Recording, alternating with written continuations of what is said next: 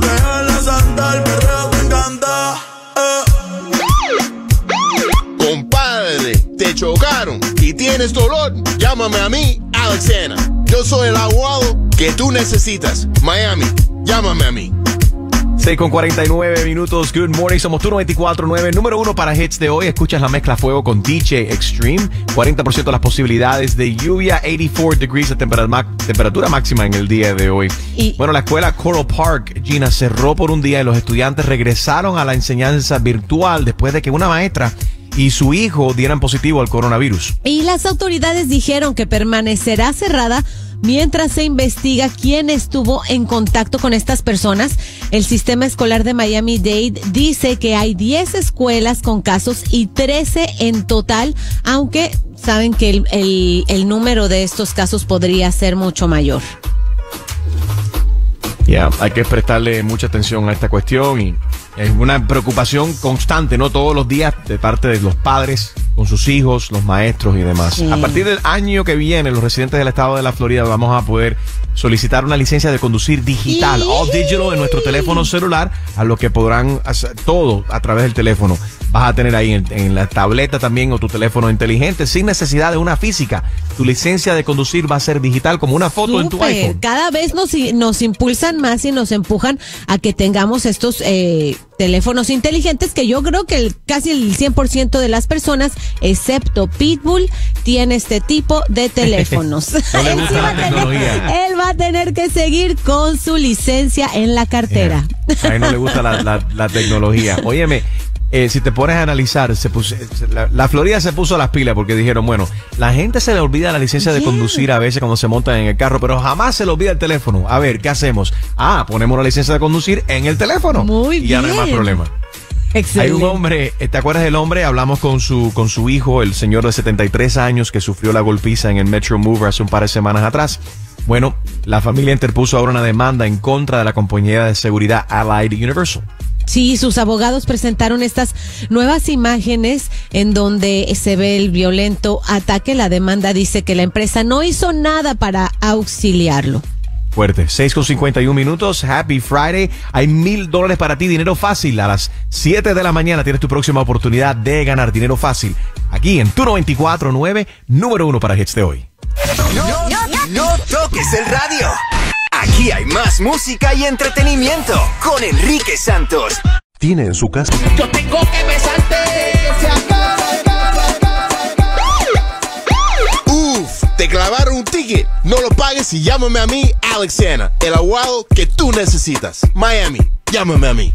7 con 47 minutos, DJ Extreme con la mezcla a fuego por tu 94.9, número uno para hits de hoy. Si andas conduciendo, please drive safe. 40% chance of rain, 40% de las posibilidades de lluvia. Hay tormentas eléctricas también en diferentes partes de la ciudad. Hialeah está lloviendo sobre mojado. Please be careful.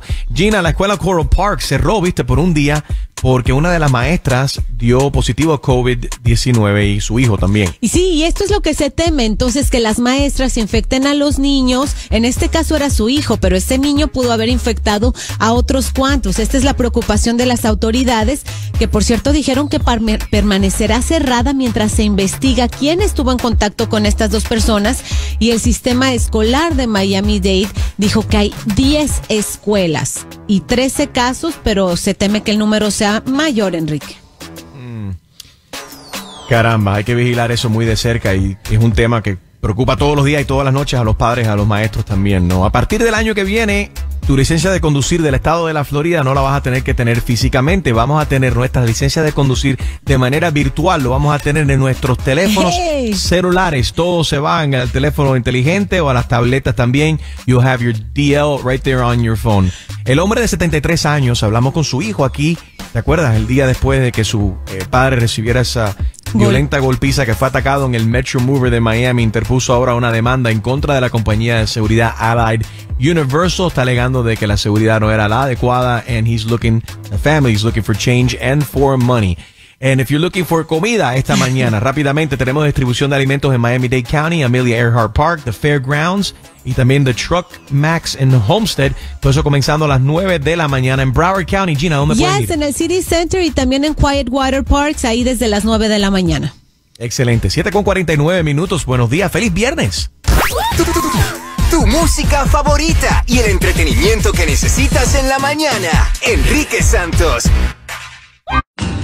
Haz tu. Uf, te clavaron un ticket. No lo pagues y llámame a mí, Alex Sena, el abogado que tú necesitas. Miami, llámame a mí.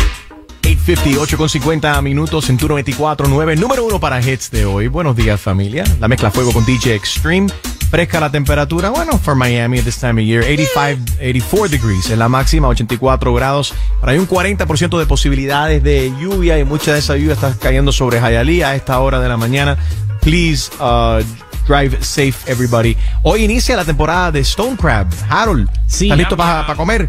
Bueno, la- la- hay, hay, hay par de cosas que cambiaron con las regulaciones en esta temporada. Por uno, ellos hicieron que la, la- el cacho tiene que ser un octavo más grande. Son en vez de dos y tres cuartos, ahora tiene que ser dos y siete octavos.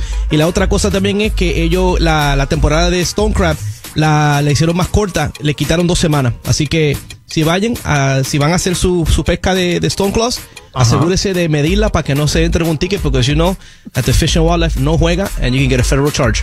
Uy. Thanks for that, uh, Harold. Definitivamente viene, ser algo, viene siendo algo federal, eso tienen que tener mucho cuidado. Hay distribución de comida esta mañana que comienza ahora a las 9 de la mañana. Miami-Dade County, Amelia Earhart Park, uh, The Grounds, uh, The Fairgrounds at 109 en Coral Way, la 109 y Coral Way.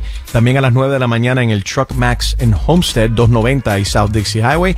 A las 9 de la mañana también en el 6110 Southwest 78 Calle, that's in South Miami. En Broward County, en 954 Gina también hay lugares. Yes, City Center, esto es en el 601 City Center Way en Pembroke Pines y en Quiet Waters Park 401 Powerline Road en Deerfield Beach. Así que hay en todas partes al norte y al sur.